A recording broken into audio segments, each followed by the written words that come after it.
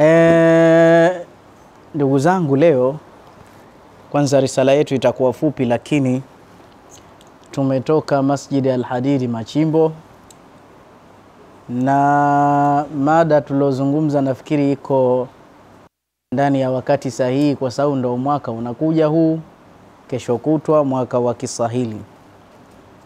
Tumehimizana jambo ambalo tumelisahau, jambo la utoaji zaka. Tumejitahidi sana kutafuta security ya kila hali, security katika biashara, tumefunga makamera. Security katika, katika majumba tumeweka nyaya za umeme, fensi zile za waya za moto. Tumejitahidi kujigadi kila upande, lakini kuna kinga bora kuliko yote hayo, azzaka. Zaka wallahi, miongoni mwa siri zake inazuia damage, inazuia hasara, inazuia wezi inazuia nyumba kuungua moto. Usiweke fire extinguisher tu ukaona umeshafika. Mwenyezi Mungu akiamua yake hakuna mchezo, lakini la yaruddu alqadar illa bidua. qadari za Mungu zikija hazizuiliwi na faya, hazizuiliwi na chochote, zitapita. Lakini dua, miongoni mwa dua azakatu, kutoa zaka. Watu wengi sana nimesema msikitini wamehangaika kwenda kufanyiwa ruqya, kwenda kufanyiwa tawassuli, kwenda kuzinguliwa, kwamba mambo yao yanazidi kuharibika, lakini siri ambayo walikuwa hawajaigundua, hawajatoa zaka. Mwenyezi Mungu anapokuneemesha ile mali, si yako peke yako, ile mali ndani yake kuna muhtaji na watu wanaohitaji. Yaani ukiwa na milioni hamsini na uwezo wa kukaa mwaka mzima, lazima uitolee moja ya kumi yake ukiwa na milioni mia moja ikikaa mwaka mzima, ile lazima uitolee moja ya kumi yake. Utajua moja ya kumi yake ni ngapi? Sasa mfano wewe zaka yako mwaka huu ushaisha hivi sasa, kesho kutwa huu mwezi wa kumi na mbili tarehe moja, mwaka mzima imekaa milioni mia. Mfano zaka yako itakiwa milioni tano, labda ndo moja ya kumi yake. Sasa usilete msikitini laki tano ukaona umetoa sana, hapana. Sababu zaka huitoi unavyotaka wewe na hii zaka si mahubiri ya maustadhi wala mashekhe, ni amri ya Allah. Yeye mwenyewe kasema hivyo. Na hichi kipengele cha zaka, zama za makhalifa, sena Abubakar ni Siddiq aliandaa jeshi kuwapiga watu ambao hawataki kutoa zaka. Kwa hiyo jambo la zaka ni jambo la amri, sio jambo la khiari. Khudh min amwalihim sadaqa, imekuja amri ya komandi, chukua.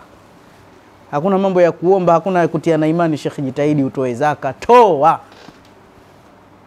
Hii ni amri na leo wanyonge wengi, mashekhe wengi wadhaifu wamejaa, maskini tunao wengi, kwa sababu mlango wa zaka umekufa. Inatakiwa zaka, mfano unampa chuma cha mkuranga labda milioni kumi pasenti, azungushie mwaka mzima, ili asiombe, ili asihitaji, ili tusikimbiane kwamba atanipiga kirungu. Sasa mpe ile pesa, ni haki yake, azungushie mwakani hiyo zaka, poteza ule kama Hayo ndio malengo hayo. Mungu hajaumba Waislamu waishi maskini, hii habari hakuna. Mimi wangu zungukwa na wenye imani, watu wa juhudi, sijawaipo kupewa zaka, hata kupewa nimpelekee mtu mwingine sijawahi, ila tunapewaga sadaka. Tunasikiaga bwana, kuna zaka, kuna mtu mmoja akatoa mwindi huko sadaka, tukifika tunapewa elfu hamsini hamsini. Zaka inakuwaga elfu hamsini hamsini. Sasa sana unatuongezea njaa tu. Hayo ndo maneno. Mimi katika dua zangu tokea zamani nilizoziomba, nilimwomba Allah nguzo tano zote za Kiislamu aniwezeshe nitekeleze. Akinipa mali nitoe zaka, kwa sababu kutoa zaka, yoyote anayetoa zaka mwakani, ile mali yake inaongezeka mara rais, Watu hawajui, ndio maana wanakula shoti sana ya maisha ilipojificha hapo. Watu hawatoi zaka. Nasema tu kwa mfano, japo sio vizuri kuwachukulia watu mifano. Kwa mfano, ndugu yako Muislamu kama mfano Bakhresa, maana hata simjui, nasemea mfano kwa sababu tunaona ndo. Ile zaka yake ya mwaka ampe mtu mmoja tu kama Sheikh Saimu, ufikiri atakuwaje? Ufikiri zaka yake itakuwa kiasi gani? watu wanaishi Amerika huko, zaka hawatoi, watu natoa sadaka. Na chanzo cha hizi zaka hizi kuvurugika, wasima zaka baada ziwafikie walengwa, wanazila wao, mtu anakufa moyo. Wako matajiri hawajui nitatoa wapi. Wako watu ala, mtu ana bilioni moja moja ya kumi haimsumbui, ataka atoe, lakini anaona akitoa kwenye hicho kituo kinachokusanya zaka azionekane. Anaona wale anawapa zaka kila siku wanatembelea magari mani ogopi. Na nyinyi watoaji makosa, kwani lazima upeleke kwa shehe? Mtafute maskini, kwani uwaoni? Wewe ukitaka unipa mimi zaka mpaka upitie kwa, kwa bianzi iweje? Nipe mwenyewe khalas, intahati alqadhiya. Mi naongea kwa ukali, usilaumu kwa sababu Sayyidina Abubakar yeye kaongea kwa panga. Mi naye nani zaidi? Toa zaka. Naomba niishie hapo, nitaitengenezea mada, tuendelee. Siendelee kama hujakupa ndo hujapewa. Matajiri ni watu wazuri sana, tusiwaseme matajiri, nyoyo zao laini, lakini shaili wasiibiwe, wasipoteze mali zao.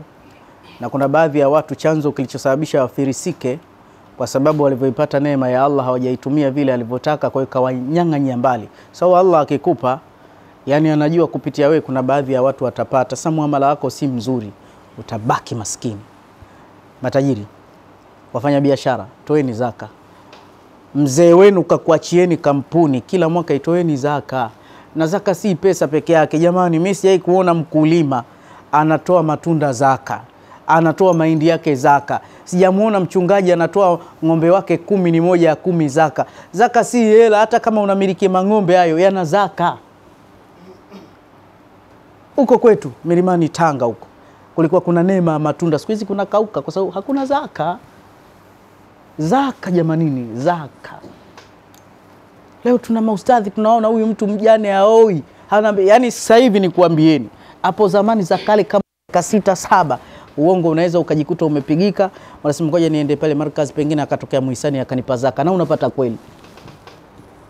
Mimi nishakutana na wao watu wa juhudi ya dini bwana, maisha haya lini? Una kigari bwana, kuna mwindi mmoja mjini kanipa zaka, zilikuwepo. Sasa hivi shehe, kama huna ndo hauna, labda upige mzinga tu na kuomba basi. Yaani hiyo nusura siku hizi hakuna. Huu si mpango wa Mungu, huu mpango wa kibinadamu, na si mzuri huu, na si mzuri mpango huu. Tutoe zaka na tuwape Allah anaowapenda, sio unawapenda wewe. Mafungu nane wale watu hao wape zaka hao, na wewe unayepokea zaka, kama uwezi kuzifikisha kwa walengwa, usipokee. Wewe wapointi tu watu basi usipokee unapokea moto, alafu pengine ushatajirika bado, kila zikija unachukua tu, wewe uogopi. Siku hizi kuna mataasisi mashallah, yanatuma vyakula yanatuma nini, unaona misaada inagawiwa huko, lakini watu hawaendelei. Mpango wa Mungu sio tupeane hivyo hivyo, kula kula. Sadaka khiari, toa mia mbili toa mia tatu lakini ishu ya zaka Usiniletee kiroba cha mchele ukaniambia zaka. Shekhe, wewe unajifurahisha nafsi yako.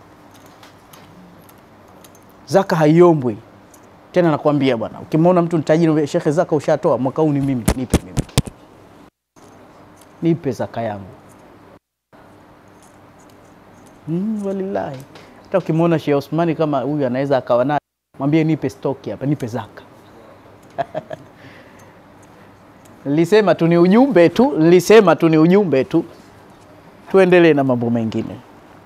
Samanini kama tumekwazana, lakini wallahi lengo langu zuri, na na na na, na, naogopa watu wasifirisike. Kuna baadhi ya matajiri tunajua kila mwaka haiwapiti zaka, basi kila siku wanazidi kuendelea. Iko familia moja ya Kiarabu na Pemba, kila mwaka wananipigia simu, Sheikh, ah, Mungu awazidishie sana. Wao wanauza matairi tu na mzee wao kila mwaka, Sheikh, zita mwaka ingiza kiasi fulani katika mahesabu yetu, zaka yetu inakuwaje? Angalia mambo yalivyokuwa mazuri. Tena kipindi hiki baada ya kuwa nalingania lingania kwa mitandao, ndo na mimi alhamdulillah mtu mmoja huyu ananiuliza zaka mm. Lakini kipindi tunahitaji hata ya kula hatupati zaka, na tumezungukwa na matu kila upande wa Kiislamu. ila tunasikia wamefadhili mipira, wamefadhili misi, lakini mashehe wanakufa, walimu wa madrasa, madrasa mbovu. Yani, yani ukitafuta msikiti mzuri, chuo kizuri hatuna, hata hospitali nzuri hatuna, ila umaskini tunao, njaa tunazo. Waislamu tusiwe na tabia hii. Miongoni mwa kitu kinacholeta itisamu na umoja na mahaba ni kupeana. Kunjueni mikono. We una basi hamsini, we una zaka, wewe we una zaka, wewe unakula moto, wewe mbali ukasikia shehe sasa, ukifa ndo utaangalia ulichofanya. Yani kama unisema anafujo sana, maneno gani yale anaambia watu, nataka utoe zaka. Abubakar ni Sidiki, yeye kaujua Uislamu kuliko mimi, yeye kakata shingo kabisa, toa zaka. Hivyo Uislamu ndo utaenda hivi.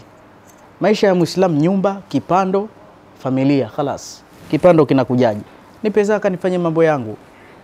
Enzi ilizotoka mimi Sheikh Omar, yani hata ungenipa milioni mbili tu naona ngetoka, milioni mbili tu ngetoka. Wallahi, haya ndio maisha. Sana sana tutajengea na chuki. Kila siku nakuona unakuja na VAT zako unasali, mimi naondoka na mgusa nyingine sijala, kila siku nikuombe mia, nitakuchukia bure, huna kheri. Almuslimu manfaa hata yantafia aqwaman, muislamu ni manfaa, yani popote anadondoka muislamu anapotokea watu wache, tushapona bwana. Weza ukakuta yule jamaa likanipa zaka zake sasa hivi. Hayo ndio maisha ya muislamu. Yaani leo hii ukishikamana na muislamu alokuwa na uwezo upati sifa, upati sifa, lakini at least yani jamaa ilikuwa naye sasa hivi na kipikipiki ki eh, alhamdulillah na kibaskeli alhamdulillah, kidogo kidogo, lakini yani wewe unakutana na muislamu ameneemeka na unaondoka bila hata nauli. Yani nyewe mkikutana fikra story, kila mtu na yake, ili upate hela yake mwingie muamala, tena mkali kuliko hata sio kwa muislamu angalau waliokuwa Muislamu ni mrehemevu kidogo. Mi kuna mtu mmoja Mungu amkubali, tena mtu wa harakati. Siku hizo naenda kufanya juhudi kwake, siku ya mwanzo mtu mmoja namstiri jina, ananiambia wewe umekuja kufanya kazi kwenye kampuni yetu? Nikamwambia eh, unajua hichi kiwanda kinaitwaje? Nikamwambia sikijua. Ambia hicho kinaitwa kiwanda dhalilisha Masati alafu mwenye kiwanda ni Sati. Ah, nikashtuka ambia, lakini kwa sababu ni ulama, labda mwingine asema hakuna cha ulama hapa tena, wewe ndio utaning'inizwa. Na nilining'inizwa hatari, ila namwombea dua kwa sababu Allah kashamchukua mbele ya haki, na tulidhalilika kweli. Siku moja bwana, namwambia shekhe, mimi bwana, na ni kweli nimeona uko gereji kuna vishawishi mpaka tuibe bwana, imani yangu inakufa, imani yangu inakufa. Mi sitaki mambo ya wizi, nimeamua kuacha kabisa gereji, ila kwa sababu wewe una shughuli za magari, mi nipe ajira, niongeze kidogo. Mambo ni, ni, ni, ni mikataba, niongeze kidogo, magari yako nitayafanyia service, na ukinituma, manake yeye anaenda mikoani kuchukua mabidhaa, nitakuletea na nini, umeona? Kidogo tu, ili nijishikize, kwa sababu gereji hata zaidi. Lakini vingine naviona vina au matajiri mpaka dhuluma. Mfano, kuna control box ilikuwa enzi hiyo ya V8, control ilikuwa milioni na nusu. Sasa ina tabia, kuna njia inakata, ukiunga kwa fundi redio mia tano alafu ukitafuta chenchi kota unamwambia itabidi control nyingine, kihakika ndio imekufa. Kwa hiyo unapiga milioni na nusu. Sasa ni siku nunulishe control box mpya mimi nipe laki mbili au laki tatu tu, anachukua ah, kazi ya dakika mbili, kazi ya dakika mbili. Sasa ndo ilivyo, kwa sababu mpaka atakayegundua hii imekufa unaweza ukaitengeneza hakuna. Kwa hiyo yeye kununua control alikuwa tayari ya milioni na nusu, lakini mimi nkisevu tatizo ikatembea miaka minne mitano ijayo, kunipa laki mbili anashindwa. Sasa ndo unakuta mtu asiokuwa na kichwa kizuri na asiokuwa na hofu ya Mungu ambia bwana, hii hapa nyingine mpya, kumbe ni ile ile. Sasa hizi zote zinasababisha kutuingiza katika majanga. Mimi sitaki. Mimi ukinipa laki tatu tu na nusu kwa mwezi inanitosha, sikupangii. Unajua, niambia Maulana, fikra yako ajibu. Nikasema alhamdulillah. Eh, kaenda kunitangaza kwa mkewe na familia yake bwana. Kaja mtoto wake ambia baba, sema omba sana wewe. Aya, yamekuwa hayo hasa. Nikimbilie kwa nani? muislamu mwenzangu, umeshindwa kuna Allah anaona maisha yalivyo ya dunia hayana ujanja. Leo kwangu, kesho kwa Jaega. Ndo ilivyo, ndo ilivyo dunia. Idha jaddat alaika dunia fajud biha ala nnas, ikikuendea dunia vizuri, Shekh, ifanye iwe nzuri kwa wenzio, acha ushamba, kwa sababu ina tabia ya kubadilika dunia. Yaumun laka wa yaumun alaika. Leo ni siku yako, kesho ya mwingine bwana. Hakuna maskini siku zote, hakuna tajiri siku zote, ni hivi ni hivi. Sasa ukidondoka, kitakachokuokoa ule muamala wako. Almaru hadithun, mtu ni historia. Acha historia nzuri, acha historia nzuri. Unajua kuna baadhi ya watu wallahi, na hapa watakuwa maskini mpaka wanakufa, kwa sababu Mungu kashawaona.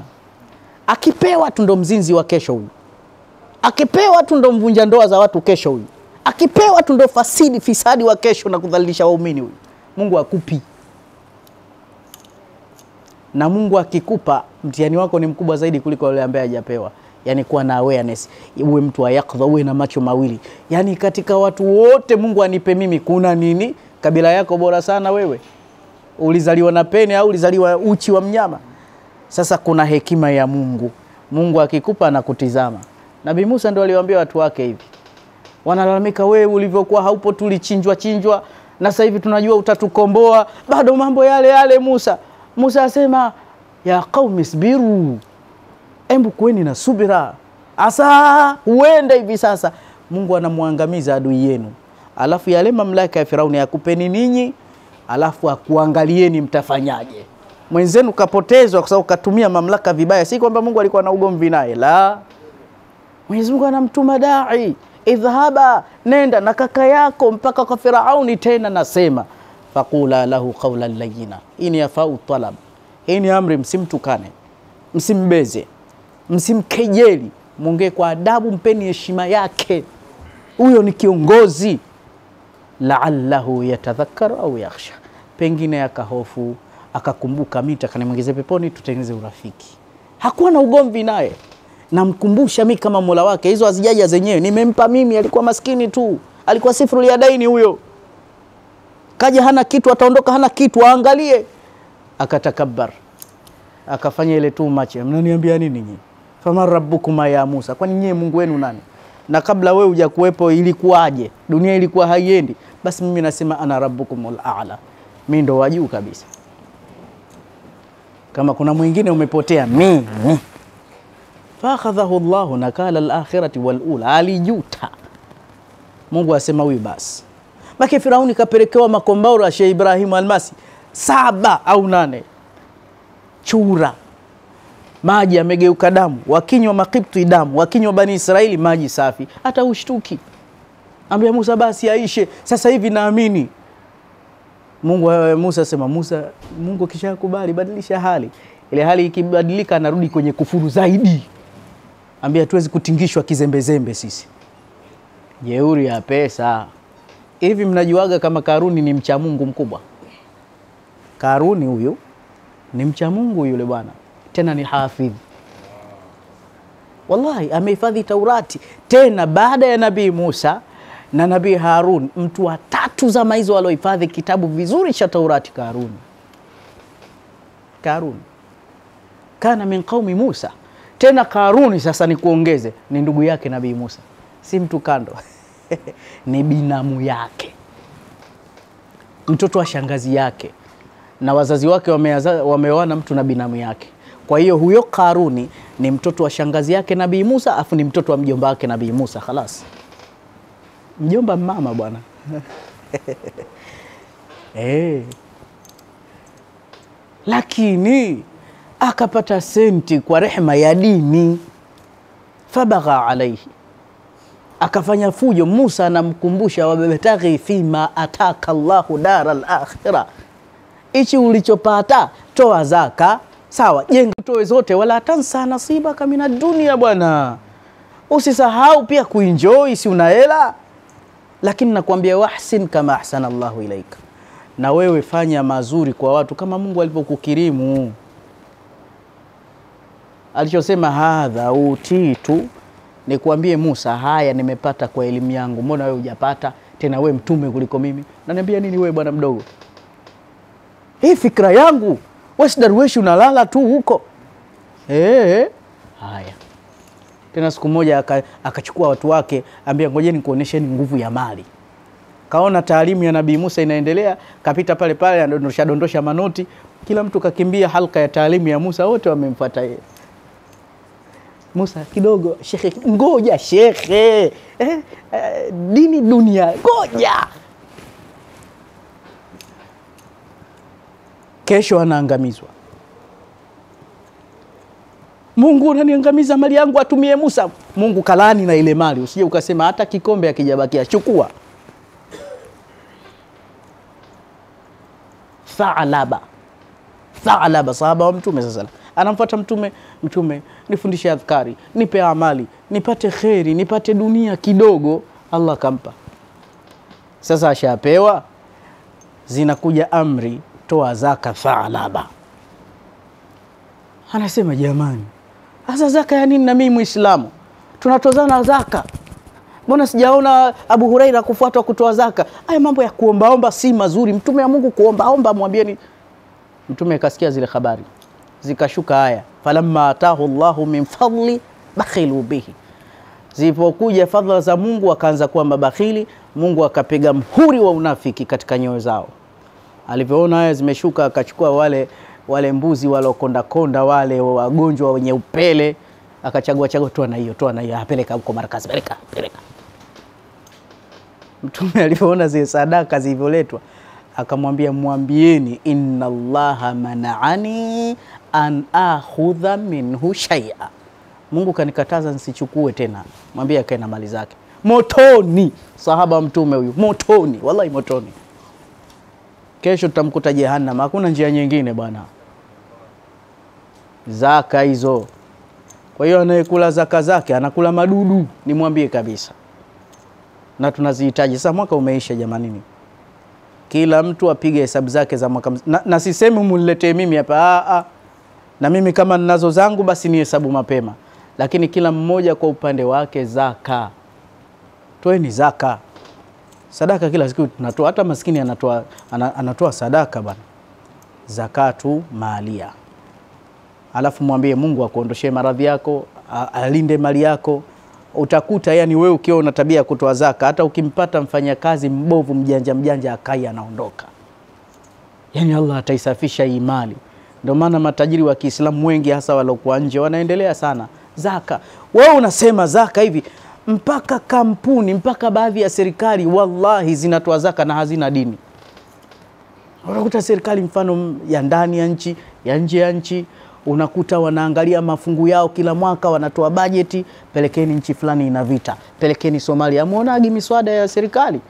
Asa hawa hawana dini, wanatoa zakatu mali. Wewe mwenye dini itakiwaje? Una haya wewe? Eh, ngoja niuze mizizi yangu mimi hapa tumalize.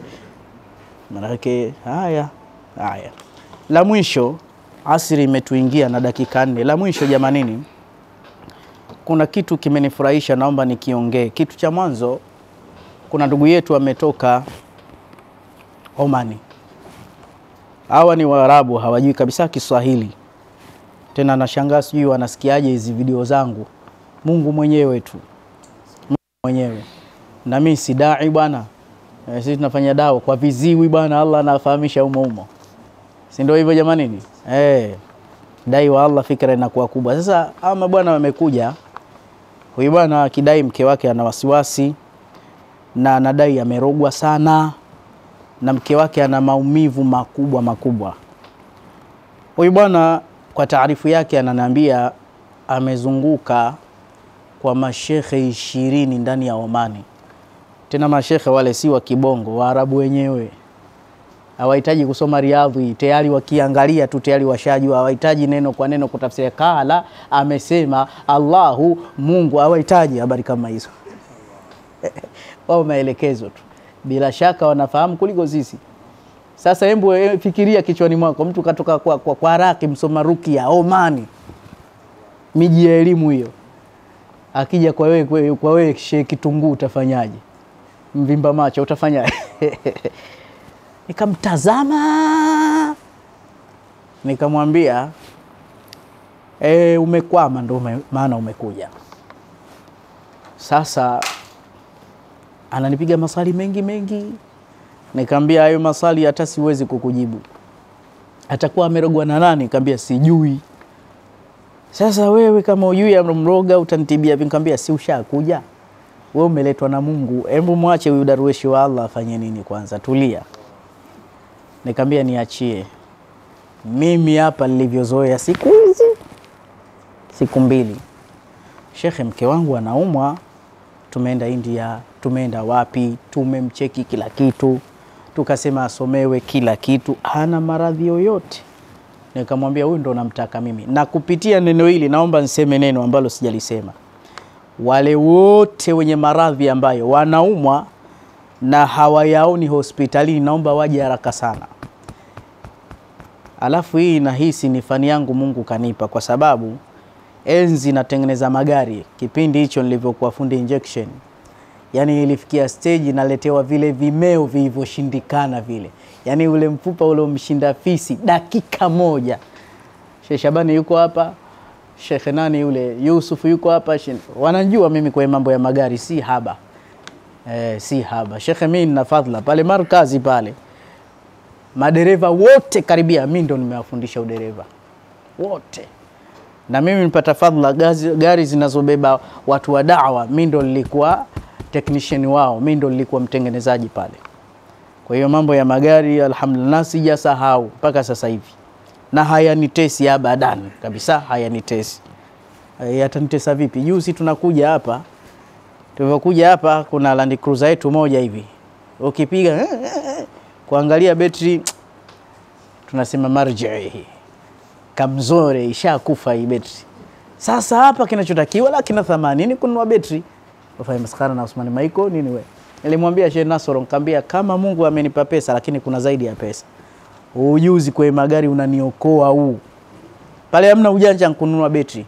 Nimechukua gari yangu ya petroli ambayo ina betri mpya. Nikamwambia sasa wewe kwa sababu ni petroli ile mbovu ya dizeli kwako mpya nikatoa ile mbovu nikaeka huku khalas, mpaka leo zinadunda, lakini na, nasema nini, imepona na usichangae mpaka kiama. Haya mambo mepesi, mambo mepesi. Hii bwana ni kheri kubwa, hii naipenda kweli kweli. Wewe siku moja tuko tunatoka Mombasa usiku, gari inaonekana haichaji saa nane za usiku e, tena tushatoka mji wa Muheza Tanga, utafanyaje wewe? Kila alokwemo mle anatolea na macho. Sasa hapa inakuwaje? Sasa hapa inakuwaje? Nimeshuka, nimefanya vitu vyangu vya chini, tumewasha gari, ngoma tudaa mpaka leo, hamna wasiwasi. Yani mimi ilishafikia stage, yani nikisikia mgurumo wa gari tuna hiyo 1KZ hiyo. Hiyo 1HDT hiyo engine hiyo. 3S hiyo. Hii nini hii, alafu ikafikia stage nimehifadhi mpaka sasa hivi zile kodi za Kijapani za fault zile. Ikibrinki tu laptop ambayo hiyo kodi kumi na mbili distributor hiyo, na hamna chengine mpaka kiapo. Hiyo hamsini na mbili hiyo no kisenza, ndio maana inakula mafuta ina, ina, ina, ina, ina, ina misi gari FC FC ni, ni ile ya mafuta huko, nayo ina fuse yake. Juzi kuna gari noa gari yetu nao tumetokea Chanika hapo, sasa ishakuwa tunauza dawa na magari sawa, eh? Tulivyotoka wakati tunakuja na huyu bwana nikamwambia kitu kimoja, hii gari hii wameweka DC direct moja kwa moja, hawajaweka na ignition. Kwa hiyo kila ikitolewa betri lazima ikimbilie fault katika accelerator. Accelerator yake ni ya umeme, lazima ife. Sasa ile accelerator ile lazima we clear. Kuna kodi za kuclear kwenye, kwenye, kwenye, kwenye, kwenye, kwenye, kwenye, kwenye, kwenye ile laptop inakuwa nzima, au achukue nyingine ambayo kumbukumbu kumbu yake ya ugonjwa haijabeba aweke pale, asifanye chengine. Nikampa gari nikamwambia, nendeni Shauri Moyo. Ilipofika kule Shauri Moyo wakaambiwa mambo kibao, hii hapa kuna silinda mbili hazichomi, nozzle zimekufa, wamefungua manifold na ni tabu, wanateseka make ukijikunja na injini ya moto, wakatoa nozzle, nozzle zinagonga kama kawaida, ameweka nyingine hamna, titi titi itakuwa valve. Kwa hiyo hapa tukaste sindaedi, nikamwambia we we we, injini imefungwa juzi, hiyo injini imefungwa juzi. Nikamwambia Sheikh Nasoro, nilikuagiza nini? Waambie hiyo gari katuma fundi iende kwa mafundi. Ingekuwa labda ningefanya mwenyewe, sitaki maneno mengi. Waambie afanye, naona wewe, hebu nitumie namba yake. Nikamwambia bwana fundi, wewe vipi, mbona unapenda kupata tabu? Hiyo excavator weka nyingine hiyo, achana na, na ukifanya chingine ulipwi gari mpya mpaka sasa hivi. Niambia tabu yote ya nini? Hata thawabu ampati kwa tabu ile mlo, tabu yote ya nini hii? Sasa zamani nilikuwa hapa Ilala msaada gereji hii Ilala yote mpaka Buguru, huu mtaa naokaa huu, kuna mtu mmoja aitwa Nangawe hapo, alikuwa na yote walioshindwa mafundi hapo, alikuwa naenda. Kuna kuna Gapco na Gap Oil, enzi hizo zina vituo vya mafuta mia tatu na sitini Tanzania nzima. Mimi ndo nilikuwa fundi wao mkubwa. Baadaye nika, nikapata tenda kwa jeshi la polisi, magereza wale. Walikuwa na so, eh, zile Hyundai zinaitwa Hyundai Sonata. Zile si mchezo ya ringi yake, wakati zinaingia. Mimi ndo nilikuwa narekebisha zile. Nilipata fursa mpaka kwenda jeshini kwa ajili ya kutengeneza magari. Alhamdulillah, lakini baadaye nilivuka nikawa natengeneza meli zile kubwa, ile miboti mikubwa kama meli, mfumo wa injini mpaka kuweka friji mpaka kila kitu. Kwa hiyo ile mfumo wa meli mimi naujua vizuri, inafungaje breki, sio hivi kuendesha, maana nimeendesha kabisa, iharibi na vizuri, si hivyo wearing ya ndege pia vile. Hapa mchezo. sasa hivi muda nitengeneze ndege yangu, acha mchezo. Zamani zamani zamani. Zamani mimi nilikuwa na idea ya kutengeneza gari yangu, kwa sababu chuo cha, cha Bruno na VETA kuna gari yao walitengeneza majani na nini na nini. Mimi nilikuwa naendaga kuwafanyia wearing pia, kwa hiyo nikawa na idea ya kutengeneza gari langu, lakini baadaye wakati naishi Kibalani Markazi nilitengeneza umeme wangu kwa sababu nilikuwa sina umeme, mpaka kuna shekhe wetu mmoja Sheikh Arif akawa naona vitu vinazunguka juu, hii nini? Nikamwambia ushawahi kupita Ubungo ukaona ile mafeni, na mimi nimetengeneza umeme wangu. Naye akapata idea akaagiza mapanga kama yale India. Basi mimi nilichukua mapanga boya yangu haya naotoneta nkaunganisha nikawa napata umeme ndani safi, na washa TV sababu inverter nasuka mwenyewe, inaingiza 12 voltage inatoa 250 mambo kama kawaida. Fanya mchezo nini we? tatengeneza ndege inshallah. Sasa ilikuwa kimeo hakinishindi, sasa hivi kimeo cha afya, kimeo cha afya katika mwili wa binadamu. Huyu mtu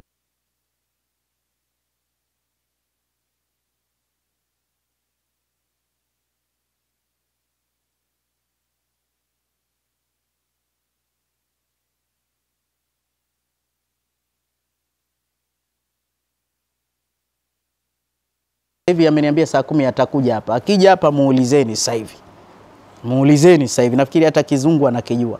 Huyu bwana huyu alivyokuja hapa akasema shekhe atapona, na anaona saa nyingine nampa vijana wasome. Nikamwambia huyu hana maradhi mengi tibiwa, ila ana kifungo hajaweza kukitoa. Huyu hajaoga hasadi, hasadi tu. Niachie mimi nimtoe hasadi kwa njia hizi tatu, utaniambia leo. Bwana yule bwana kaja hapa kakataa hata kusomewa, kasema shekhe, Mungu akulipe. Wallahi huyu tumetembea kila hospitali haijajulikana maradhi yake, tumegundua na umanini. Kaambia si mambo si ndo hayo. Nimemtoa kijana wangu mmoja, ngambia mpeleke hapo SMV sasa hivi wakampime voice yake, simtoi kumhifadhi, kaitoa sasa hivi. Ambia shekhe, ulivyosema tumemkuta na ile maradhi mawili ndio yanaomtesa bwana mtu anaumwa kichwa anakunywa dawa za miguu wapi na wapi, mfanya mchezo nini? Nikamwambia sasa hapa ni kawaida, yaani mtu anakuja na maradhi ya hospitali, malaria tu, sukari tu, lakini haionekani katika vipimo, kwa sababu iliingia kwa njia ya macho. Huyu mtatibu mpaka mtahangaika, haponi, haponi. Chukua mfano wa dada mmoja kaja hapa. Dada huyu ana uwezo mkubwa, alikuwa akiendesha gari, miguu yake inacheza tena mguu wake ukinyanyuka hivi hata amenyoosha haushuki. Alafu mashetani wagomvi, ana build change yake pale airport maskini. Sasa akitaka kwenda akiwa traffic light anaendesha mwenyewe, gari ikisimama mbele, wale mashitani wanamjia, anakanyaga moto, anagonga gari ya mbele. Kwa hiyo vigari vyake kila saa vinapata ajali, mashetani mahasidi kweli kweli. Akaja nikamsomea ile hali ikaondoka. akaondoka zake akaenda bichi kula bata na wenzie, watu wa pesa bwana Masaki. Bwana mwili ukaanza kuuma, kaambiwa vitu kibao, sijui ni bandama, sijui ni hoi, hawezi kuamka. Enda hospitali ya pesa, wamemtibu kila maradhi, wallahi hajaonekana kabisa. Mwisho akasema basi tumrudishe kwa yule shekhe wake. Wamechanganikiwa, ambia shekhe, tumetumia pesa, haponi. Mimi nikamtizama mashetani, nikampima katika macho, vipimo vyetu hamna uchawi wala nini. Ngambia huyu hana, wakaanza kulia.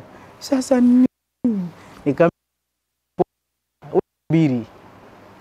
Nikamwogesha maji ya hasad, nikamdaktari wa kawaida tu mwenye famasi yake ya private, nikampime huyu malaria. Kumpima ana wadudu kumi na tatu. Ha, haiwezekani, si tumetoka hospitali fulani hamna. Nikamwambia ah, wale hawezi kuona, mpe dawa za malaria huyu mzima mzima kabisa. Nikamwambia usipate tabu, wewe umerogwa juzi bila kujua, tena umerogwa na marafiki zako. Wakati mnaenda bichi ulisifiwa. Akaniambia wakati nimevua nguo zangu, aliniambia shoga yangu eh, shoga, huyo mume atakaye kupata na jimwili hili una shepu. Nikamwambia huyo ndo kakumaliza huyo uliona kakusifu. Kuna kitu itakiwa aweke namba tano jatia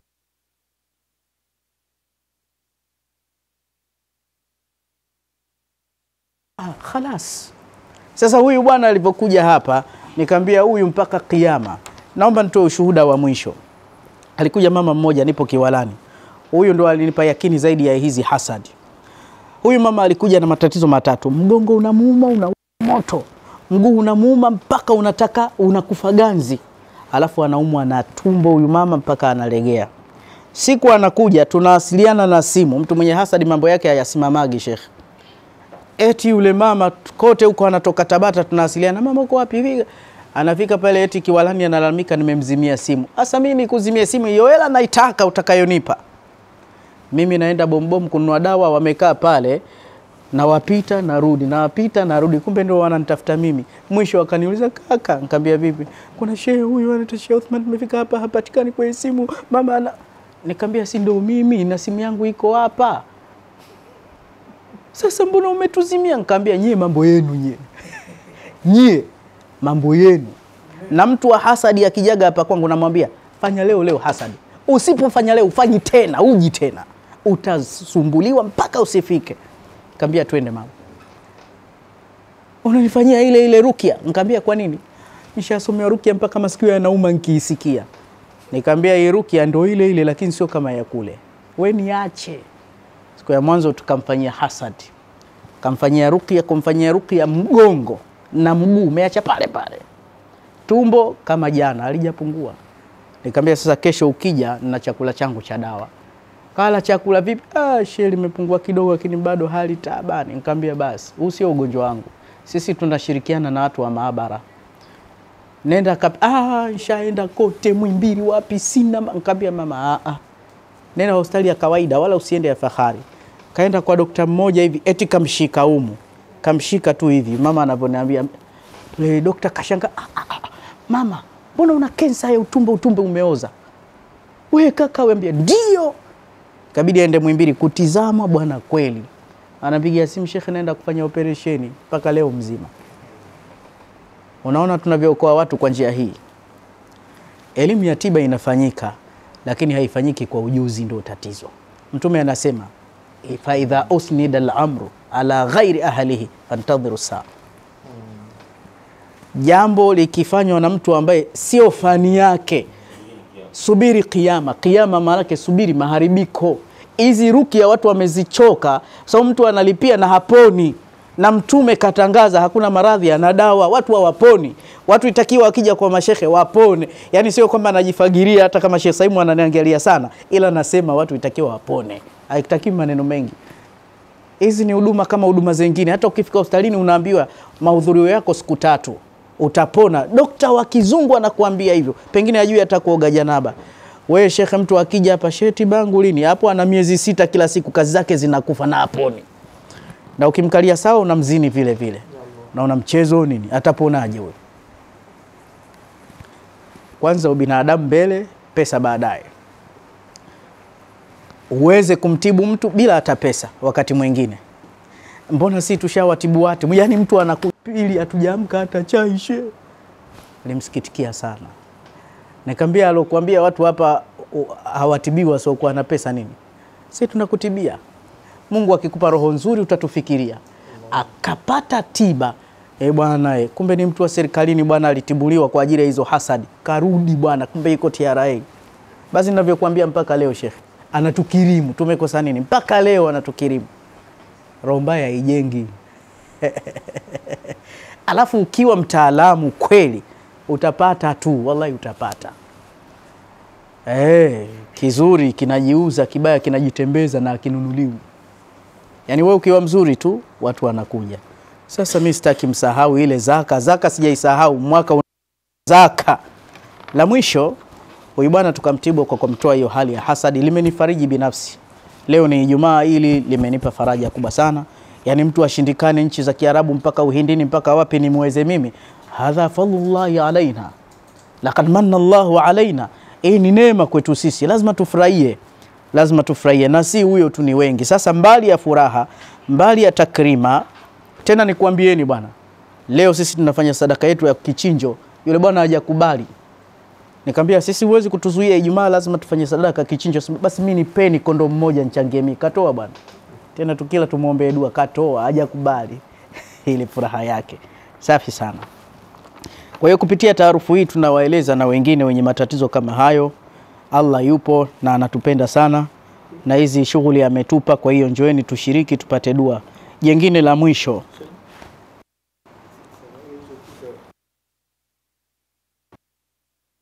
kipi hicho?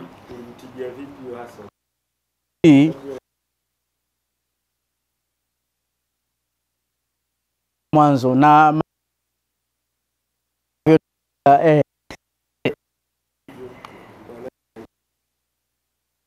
hasadi lim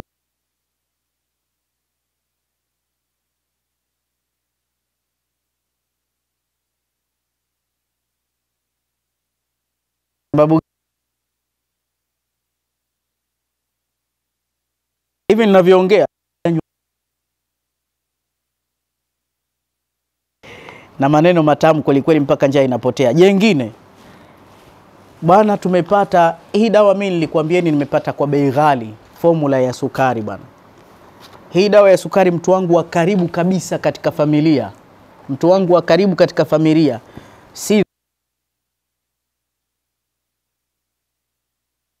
dada yake kampa chupa hii moja, wallahi akanipigia simu, hata mimi sijui kama amepewa, hata sijui kama amepewa.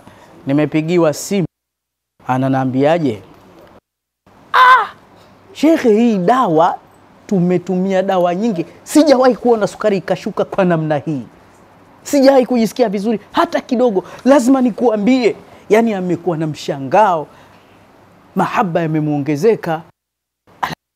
Kumbe na wewe umetumia juzi, leo siku ya tatu, asifu hivyo. Furahi sana, nikasema Ijumaa ya leo nitawatangazia ndugu Waislamu na raia wote kujali dini zao, huu mmea wa karoti poli msiuache, unasaidia yaani huu mmea huu ajibu.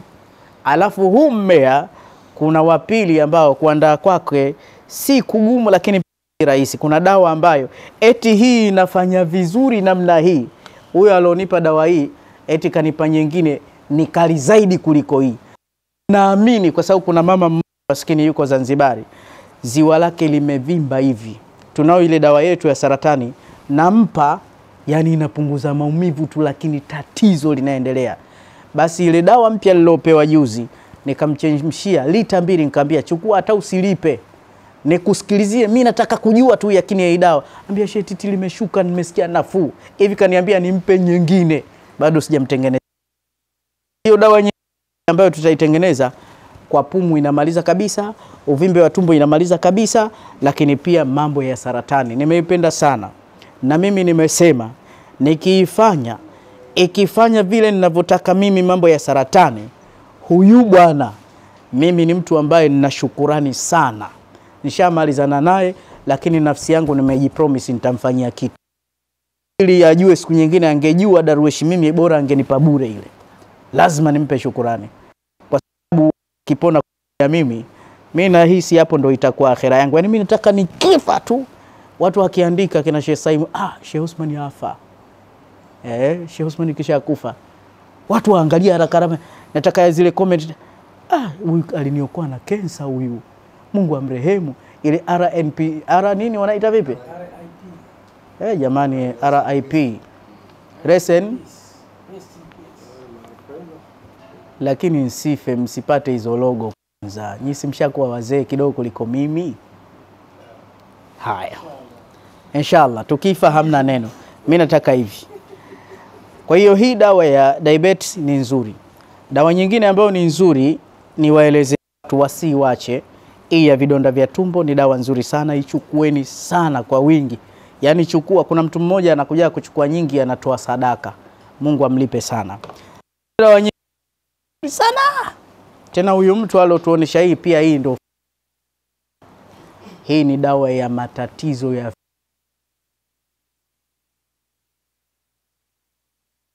dawa nyingine ambayo ni nzuri sana sana zaidi ya sana ni dawa ya matatizo ya moyo. Hii mtu mwenye kesi ya matatizo ya moyo hewala, na hii dawa watu wameishukuria, kina mama wenye matatizo na UTI sugu chafu, koje unasumbua sana, hii inawasaidia.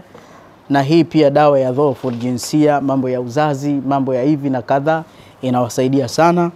Lakini dawa za mwisho leo ni dawa za fibroid, uvimbe uvimbe kwa kina mama. Hizi dawa hizi wasizi waache.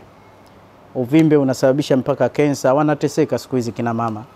Hizi mabwana, najua mtapata tu sadaka yake, lakini nasema mbali ya ile sadaka, zikiwaenea watu wakizitumia, napenda sana. Na kuna kitu nilisema zamani nitakitekeleza, na Mungu aniweze.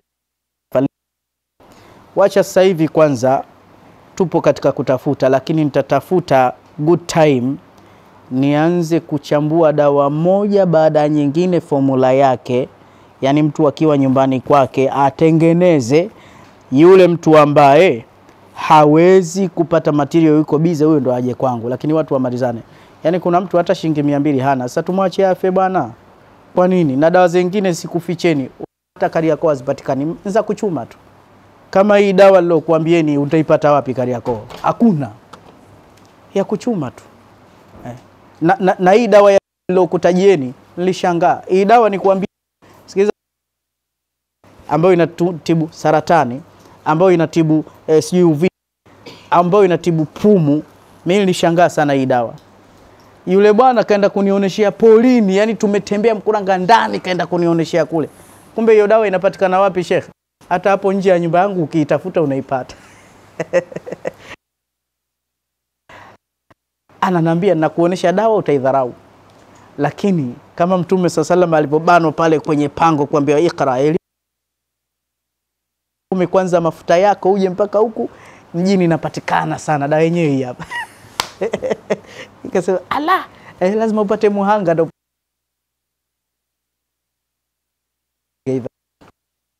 ambia jaribu. Nimempa mama yule vizuri bwana, nimempa mwanangu alikuwa anaumwa maana jana akaanza kwenda chuoni. Safi kabisa.